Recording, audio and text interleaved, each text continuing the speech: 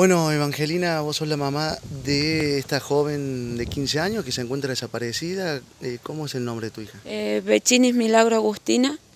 Ella tiene 15 años, esta mañana a las 10 y media se ausentó de casa. Yo fui a radicar la denuncia correspondiente, me dijeron que la están buscando y hasta ahora no tenemos novedad. No, no sé, tuvimos una pequeña discusión y ella salió con la excusa que iba a ir a comprar unas hojas y un liquid paper y no la volvimos a ver más. ¿Y la discusión de que, eh, cómo, proviene esa discusión? Eh, porque ella tenía que presentarse a rendir y no, no se presentó hoy a rendir. Por eso fue la discusión que tuvimos con ella. Y yo la reté y me quedé, tomamos mate, ahí ella estuvo estudiando, después yo me fui hasta la primaria acá de, Villa Independencia por mi otra hija y cuando volví ya no estaba. ¿Es la primera vez que pasa un caso así? Yo anteriormente se había ido también de, la casa. Eh, en otra oportunidad sí se había ido, fueron cosas de media hora, habrá estado ausente y le encontró un móvil policial y la trajo. La trajo para acá, después nunca más volvió a ocurrir. ¿Te, sorprende esta actitud? ¿Crees que se puede haber ido con alguien? Me sorprende porque no... Eh, Pienso que se puede haber ido con alguien si no hubiese tomado la decisión que tomó el otro día, que fue acá nomás a cuatro cuadras de casa.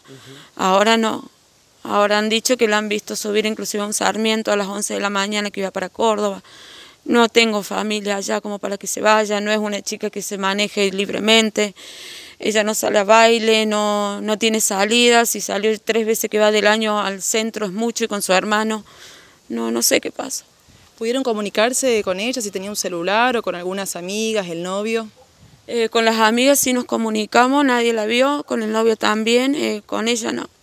Eh, ¿Con el novio pudieron hablar? Con el novio pudimos hablar, inclusive él ayudó en la búsqueda, la estuvo buscando preocupado, tenemos el Facebook de ella abierta para ver si aparece algún mensaje que nos pueda dar algún indicio de dónde puede estar o con quién. ¿Y el, teléfono por qué no se pueden comunicar? Eh, se encuentra eh, rota la pantalla, el táctil, entonces no, no puede marcar, no puede recibir mensajes, da como apagado todo el tiempo.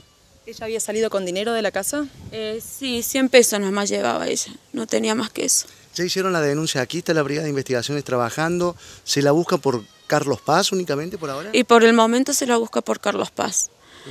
Por el momento sí, por Carlos Paz tenemos que esperar un determinado tiempo hasta que se autorice, hasta que se pida una autorización para buscarla en Córdoba. ¿Ella te había dicho en algún momento me voy a ir de la casa, enojada, eh, algo? No, no, no, no. No, en ningún momento. ¿Por qué piensan que por ahí se puede haber ido con algún amigo o algo de eso ustedes? Sí, porque sola yo sé que no lo haría. Sola yo sé que no lo haría porque ella tiene 15 años y duerme conmigo. Sé que sola no lo haría. Yo sé que no lo haría. ¿Qué, te dijeron de la policía? Que espere, que tengo que esperar que ellos la buscan, pero yo no puedo esperar.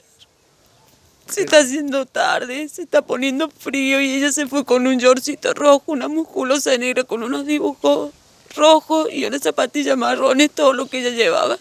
¿Dónde pueden comunicarse ahora a alguien que haya visto alguna situación eh, similar a lo que vos nos contás? ¿Hay algún número de teléfono? Sí, que se comuniquen conmigo. El número es 3541 35 para llamada. Si no es 3541 21 32 31 para WhatsApp.